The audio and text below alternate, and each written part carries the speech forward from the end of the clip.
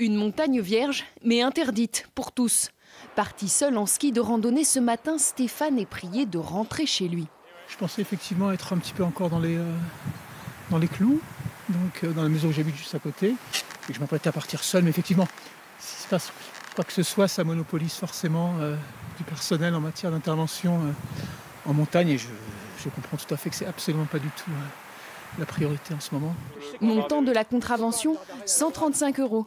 Évité pour cette fois. On est pédagogique nous aussi. Hein. Le but, c'est de faire adhérer la population à ces messages-là.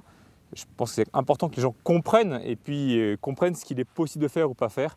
Ben, ce qui n'est pas possible de faire, c'est d'avoir une pratique qui peut engendrer des accidents et qui peut devoir mobiliser, encore une fois, les moyens sanitaires qui sont complètement consacrés à la lutte contre le coronavirus. Même cette unité d'élite a renoncé à s'entraîner.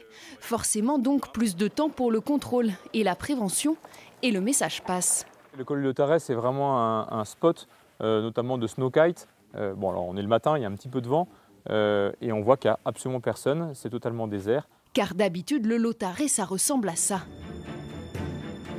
Le champion du monde, Laurent Guyot, veut montrer l'exemple et pratique aujourd'hui, comme tous les sportifs, depuis son canapé. Qui a été tourné la semaine dernière. Ça fait du bien de revoir des images de quand on était libre et qu'on pouvait rider tranquillement dans la montagne ça. Montagnard ou pas, pour les activités physiques, en confinement, il faudra donc faire simple, seul et sans risque.